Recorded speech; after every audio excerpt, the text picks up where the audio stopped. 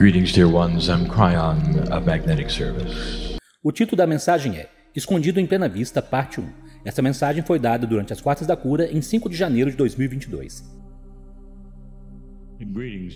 Saudações, meus queridos. Eu sou Cryon, do Serviço Magnético.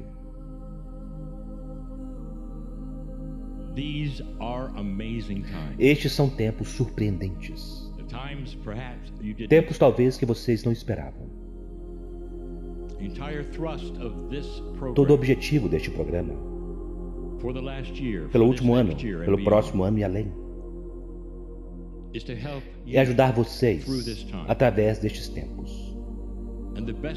E a melhor forma de fazê-lo é aquilo que eu desenvolvi e disse ao meu parceiro que seria o Círculo dos Doze. Uma metáfora para a estrutura de todas as coisas, os dozes, a beleza, a majestade disto.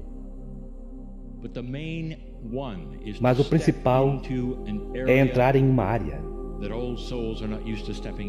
na qual velhas almas não estão acostumadas a entrar, isto é, sua própria magnificência, sua própria alma. Este mês, nós apresentamos quatro canalizações. E esta será a primeira de quatro.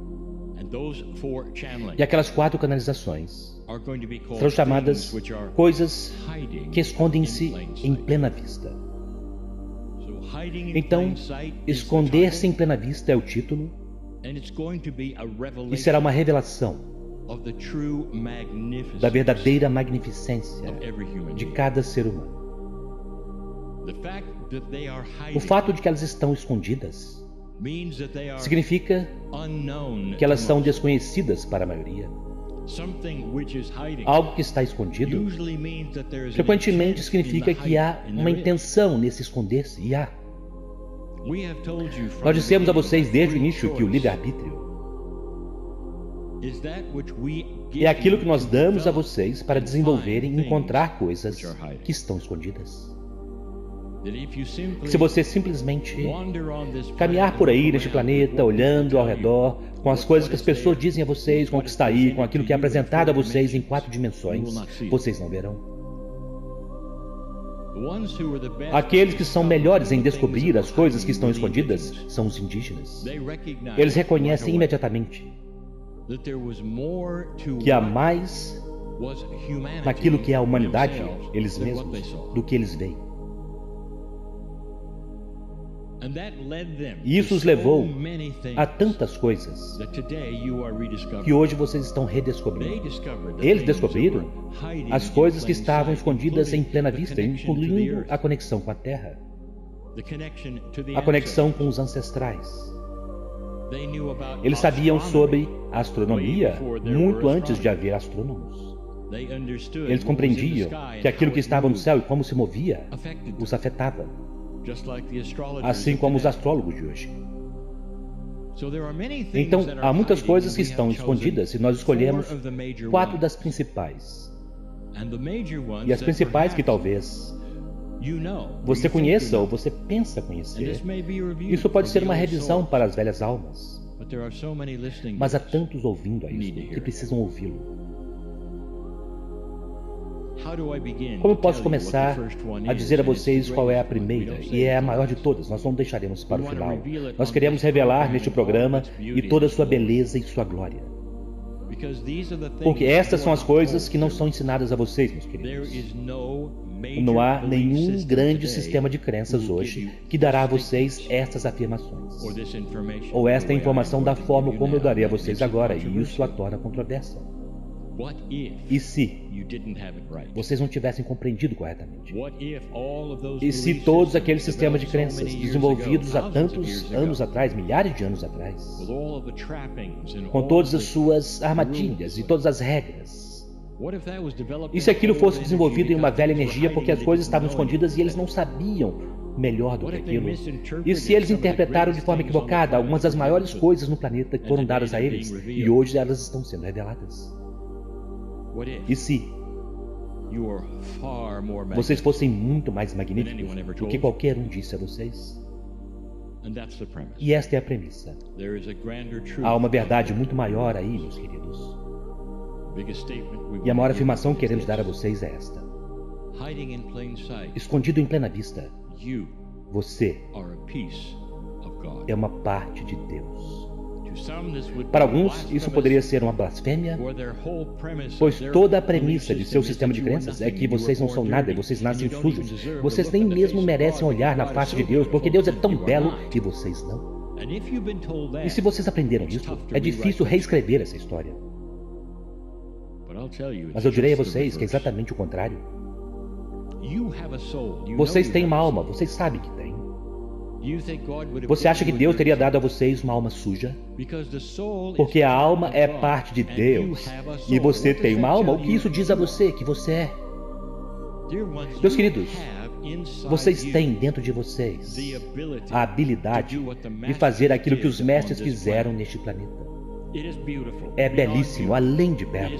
É magnífico e vem com uma promessa. E a promessa é essa: que você pode realizar as mesmas coisas que os mestres realizaram. E então nós começamos a dizer a vocês que isto vem com a consciência, com a intenção e com a prática e a energia da Terra que mudou para permitir que seja assim. É disso que se trata o Círculo dos Doze.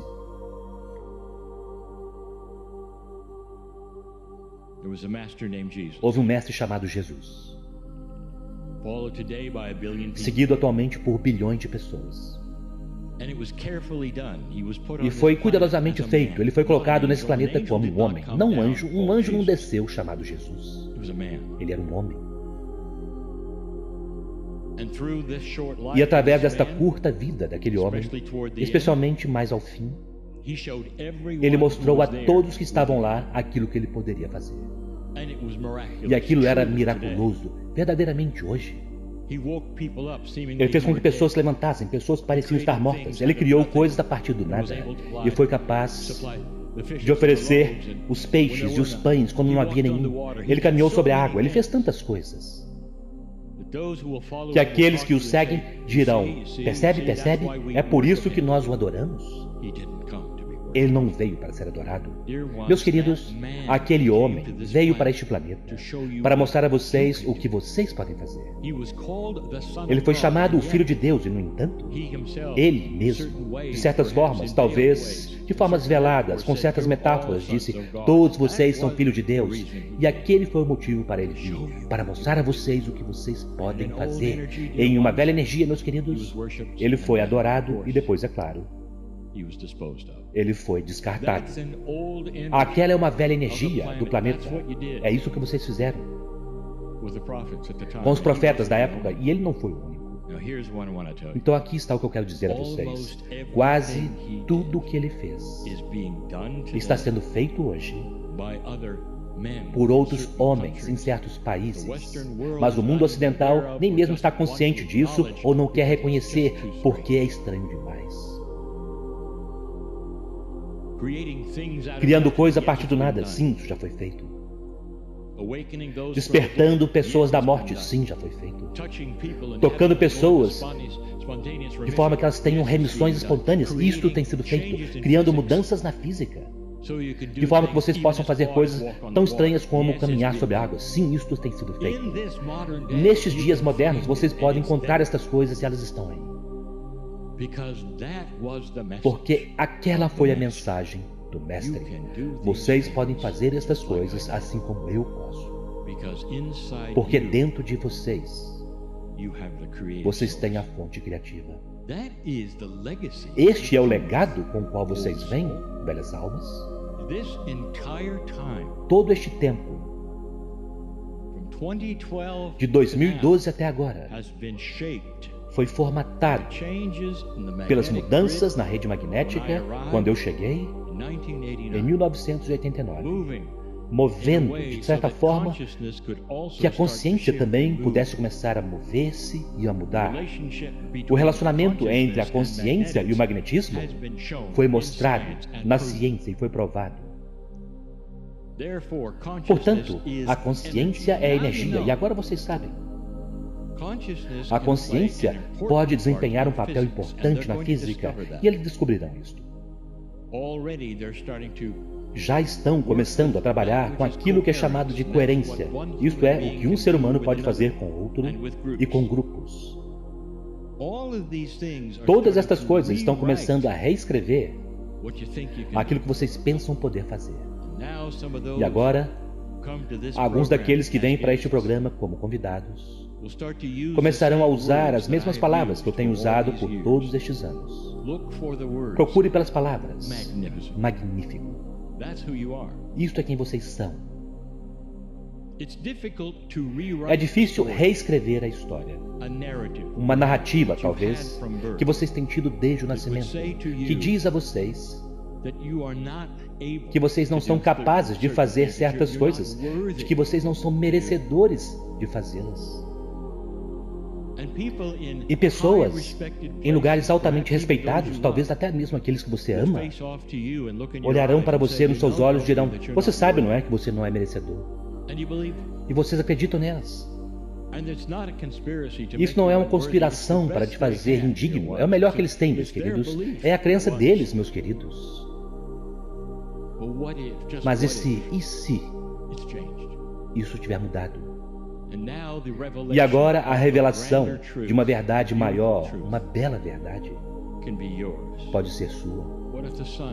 E se o sol tiver saído espiritualmente? E dado a vocês a habilidade de olhar ao redor por si mesmo e dizer: talvez eles tenham compreendido errado. Não é culpa deles terem entendido errado. e eles ainda estão entendendo errado. Não é a culpa deles porque é a narrativa e a história do que foi ensinado a eles naquilo que eles acreditam. Mas e se for tão maior do que aquilo? E nisto talvez você não precise de um sistema de forma alguma. E nisto, talvez tudo o que você precise é de amor e a compaixão para pegar a mão do Espírito e dizer: sim, agora eu compreendo que eu sou parte do plano que é Deus. Que eu estou aqui por um motivo que é muito mais grandioso do que qualquer coisa que qualquer um tenha me dito. E aquele motivo é para ajudar o planeta com compaixão e amor e eu posso fazê-lo assim como os mestres fizeram com eles. E eu posso reunir pessoas que queiram saber sobre isso, porque eu as amo tanto que elas verão isso e elas estarão aos meus pés. Eu poderei falar com elas sobre o amor, e alguns de vocês o farão. E é por isso que alguns de vocês estão aqui para imitar os mestres desse planeta que vieram aqui por um motivo para contar a vocês sobre o amor de Deus e mostrar a vocês o que vocês podem fazer. Escondido em plena vista. é uma magnificência que vocês não esperavam. Mestria, consciência ascensa. e o início do resto da energia deste planeta. E é por isso que vocês estão aqui. Eu sou Cryon e amo a humanidade. Amo a humanidade. Por aquilo que vocês têm adiante e o que vocês farão. E assim é.